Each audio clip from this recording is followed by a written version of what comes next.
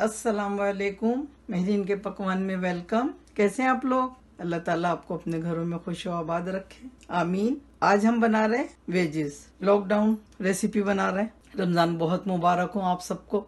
अल्लाह ताला corona virus दुनिया से ख़त्म कर दे, हमेशा हमेशा के लिए। और हमारे सारे घरों को अल्लाह ताला दोबारा से खुश आबाद कर दे और हमारे घरों में रहमतें और बरकतें दे और ईद पे सब लोग हँसी खुशी ईद मनाए। आमीन। तो चले, फिर ये बनाते हैं।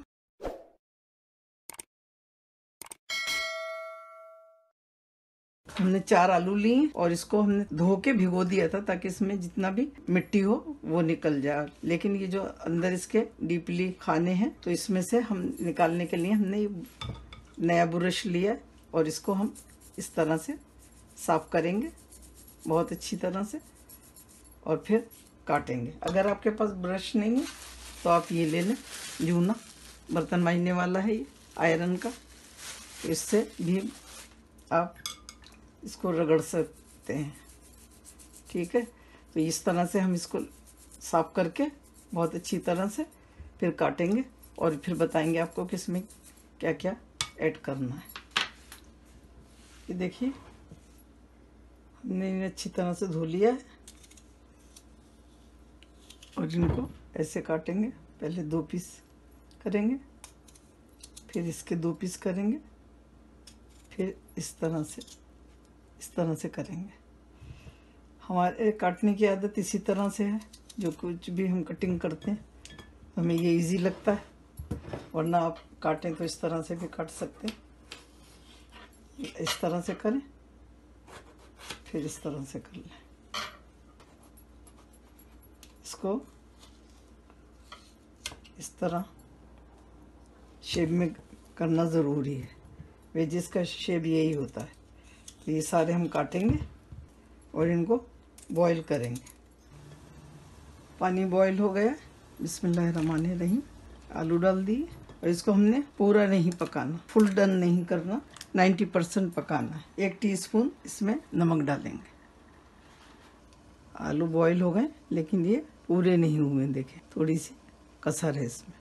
इसमें मसाले ये डालेंगे हम। चावल का आटा लिया है हमने, एक टेबल स्पून कॉर्नफ्लावर लिया है दो टेबल स्पून, मैदा ली है तीन टेबल स्पून, कुटी हुई मिर्चें ली हैं, एक टेबल स्पून, दो चुटकी नमक लिया है, आधा टी स्पून गार्लिक पाउडर लिया है, एक क्यूब डालेंगे हम, ये चिकन क्यूब्स है, जो बाज़ार में आराम से मिल जाती है, लेकिन हमारे जो वेजिटेरियन फ्रेंड्स हैं, वो इसमें ये ना डालें तो थोड़ा सा अजीनो मोतो दो चुटकी अजीनो मोतो डाल लें। और ये गानो है, एक टेबल स्पून, पानी लिया है हमने दो कप, अब देखते हैं इसमें कितना पानी जाएगा।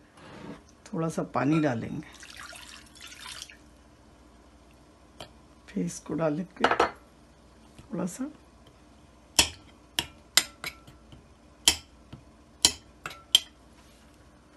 मसाले भी डालेंगे इसमें, और ये भी डाल देंगे।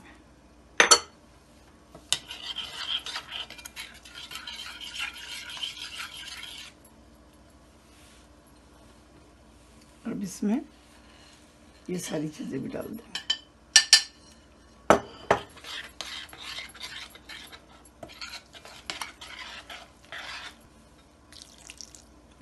गाढ़ा नहीं बनाना इसको।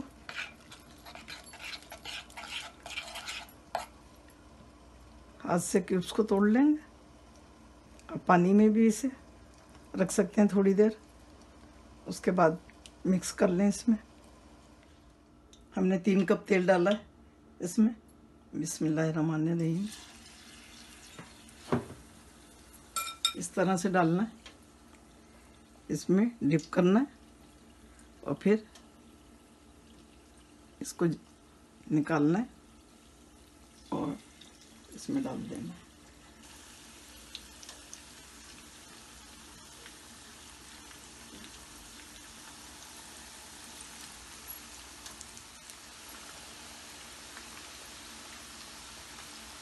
सारे इसी तरह से बना लेंगे।